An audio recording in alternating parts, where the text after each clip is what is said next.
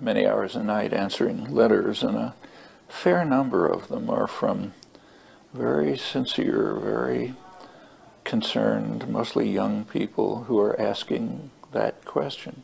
Can you give me advice about what I should do? You've got to find out for yourself what to do, and nobody can give you advice. No one should tell you what to do.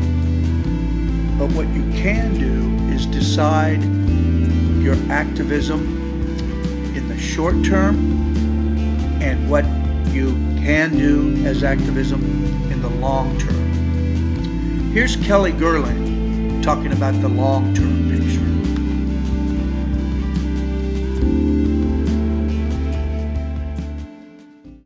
Radical reconstruction of society itself is the real issue to be faced. You know, which is how can we use new thinking to affect the solution to the existential crisis. Bulletin of the Atomic Scientists has placed the doomsday clock at two minutes to midnight.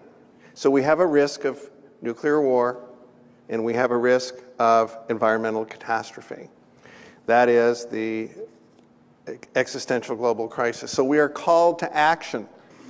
Notice the opportunities to amplify and extend your ideas in coordination with others.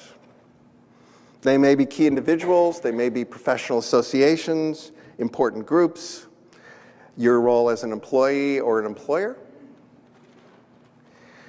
your social media activity, your uh, role as a citizen of the most powerful country in the world, and more. To expose lies and deceptions, anything that might be immoral or unproductive, anything that gets in the way of the transformation that we needed, the radical reconstruction of society, and you can reveal the truth in doing so.